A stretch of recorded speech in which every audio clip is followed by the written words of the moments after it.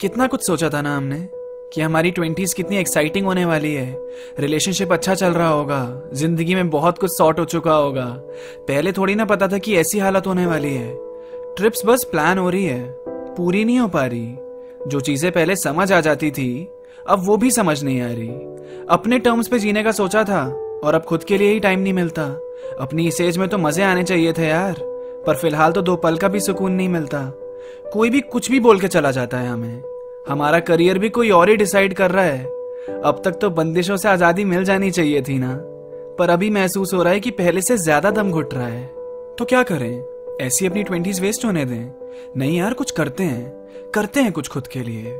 सोचा था अब तक तो सच्चा प्यार मिल ही जाएगा। पर साला झूठा प्यार भी किसी ने नहीं किया।